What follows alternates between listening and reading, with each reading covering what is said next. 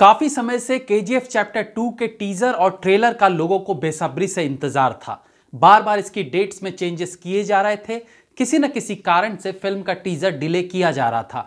लेकिन फाइनली कुछ दिन पहले यह डिसाइड किया गया कि यश के बर्थडे पर इसका ट्रेलर रिलीज़ होगा, यानी कि 8 जनवरी 2021 को।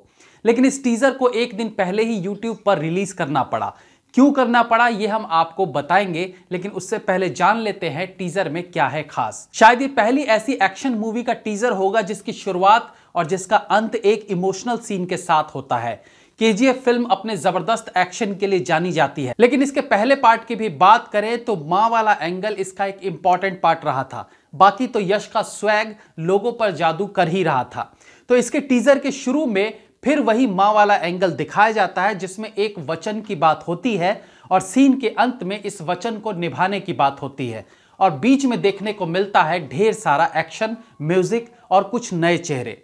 ये नए चेहरे थे संजय दत्त और रवीना टंडन। दोनों एक साथ कई साल बाद किसी फ़िल्म में नज़र आने वाले हैं। फ़िल्म में दोनों साथ में स्क्रीन शेयर करेंगे या नहीं, ये तो नहीं कहा जा सकता, लेकिन टीजर में दोनों ज़रूर नज़र आए। इस टीजर को लगभग 17 घंटे में 36 मिलियन व्यूज़ मिल चुके हैं, जिसके कारण ये तेज़ी से एक नए रिकॉर्ड की तरफ़ भी बढ़ रहा है। उम्मीद की जा रही है कि 24 घंटों में ये टीजर कोई ना कोई नया रिकॉर्ड ज़रूर बना लेगा। अब आते हैं असल मुद्दे पर कि आखिर इस टीजर को एक दिन पहले रिलीज़ करने की क्या ज़रूरत पड़ गई। तो इस बात का खुलासा खुद यश ने सोशल मीडिया पर एक वीडियो के माध्यम से किया है।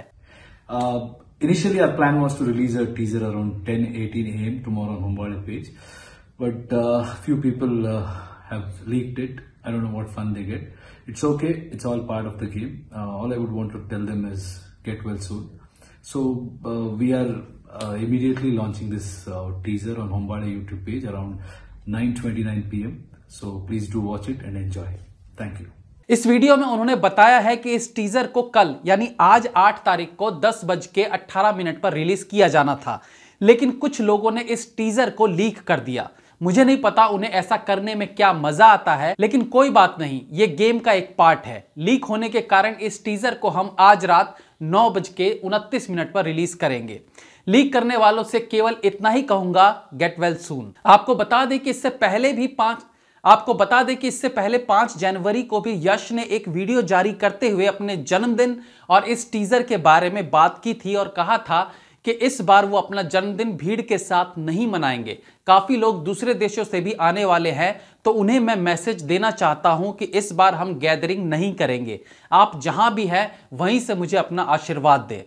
खैर अब टीजर रिलीज़ हो चुका है, लेकिन एक दिन पहले रिलीज़ किए जाने से यश ज़्यादा खुश नहीं दिखे। और साथ ही उन्होंने अपनी नाराज़गी जताते हुए लीक करने वालों को नसीहत भी दे डाली। इसी प्रकार की तमाम जानकारियों के लिए हमारे साथ जुड़े रहिए। नमस्कार।